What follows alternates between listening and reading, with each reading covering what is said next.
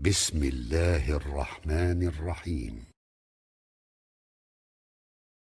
Tu poses la question encore. Tu dis comment je saurai si réellement j'appelle à un groupe ou bien à la voie correcte.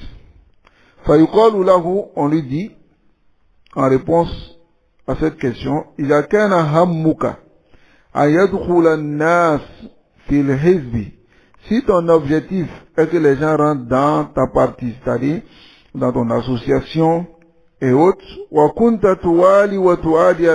et tu fais l'alliance de désaveu sur cela,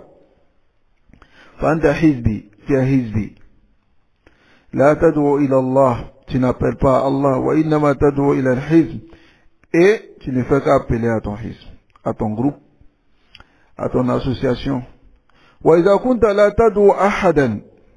إلى أن يبايع أو يوالي ويعادي على أصول وضعتها أنت من عندك si tu n'appelles pas les gens à faire le serment d'allégeance, à s'allier et à détester les gens à cause des fondements que toi-même tu as mis, وإنما تريدهم mais tu ne veux que un yatamassaku qui s'accroche qui s'accroche bi kitabillah wa bi sunnati rasulillah. Qui s'accroche au livre d'Allah et à la sunna de son messager Muhammad sallallahu alayhi wa sallam wa ya'rifu manhaj salaf salih et qui connaissent le manhaj des pieux prédécesseurs wa yatamassaku bihi qui s'accroche à cela fa inna idin takunu da'iyan ila Allah tad'u ila at-tariq al-mustaqim. En ce moment tu es un prédicateur vers Allah et que tu, et tu appelles à la voie droite. فهذا الفارق إذا عرف عندك عرفت معنى جماعة التبليغ أو عرفت معنى جماعة التبليغ Il dit voici la différence. Si cette différence est connue chez toi, c'est que tu connais le sens même de Jamaat al-Tabligh.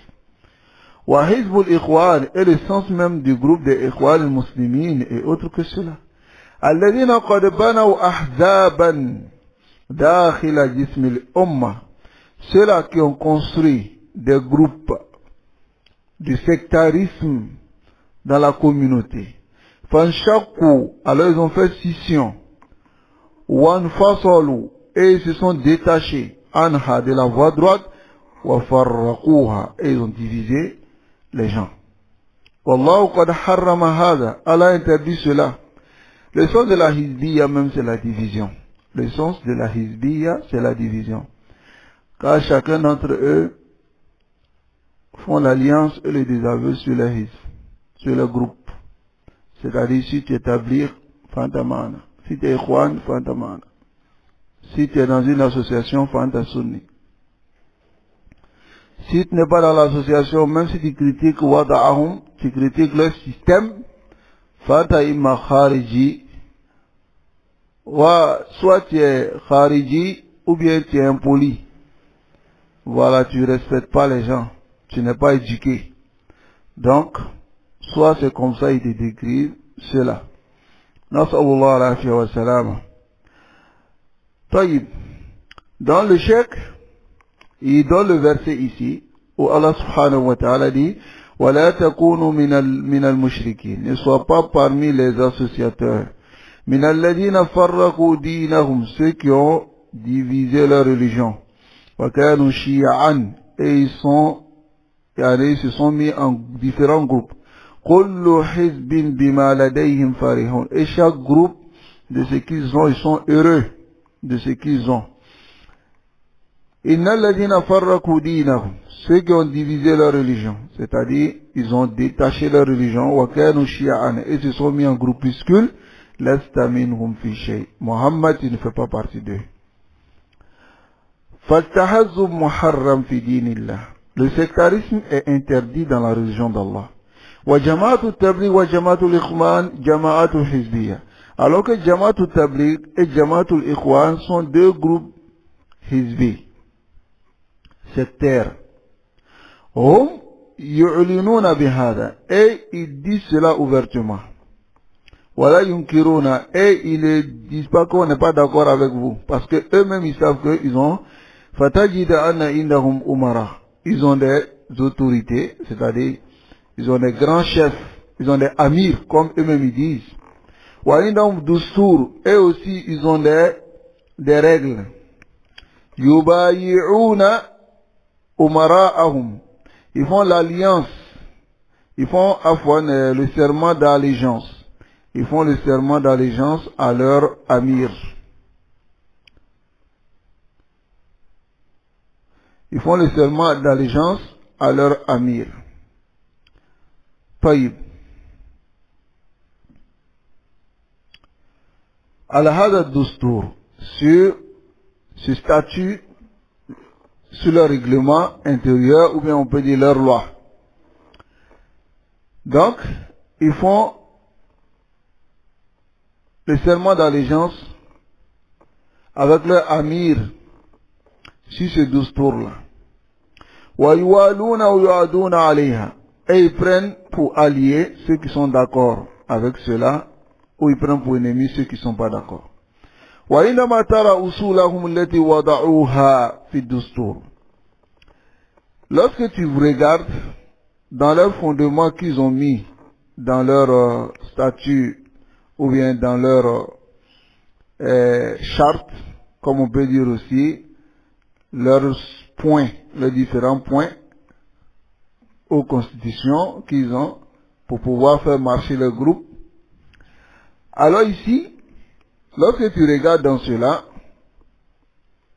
qu'est-ce que tu vois أول شيء عليك أن تفعله هو أن تفسر هذه الكلمات التي وضع وضعت في دستور بناء على تفسيرهم D'abord, la première des choses que tu dois faire, c'est de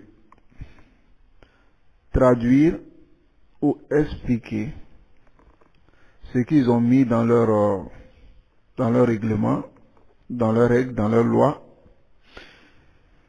dans les différents points. Tu expliques cela selon leur explication. La bina'an ala ma tafhamu anta min shari'ati Allahi sahiha. Ne te base pas sur ce que toi tu comprends de la charia pour ne pas que tu sois trompé. Lorsque tu passes sur le premier asl des Jamaat tout à fait, le premier fondement, les fondements qu'ils ont mis en place. Ils disent La ilaha illallah, Muhammad Rasulullah.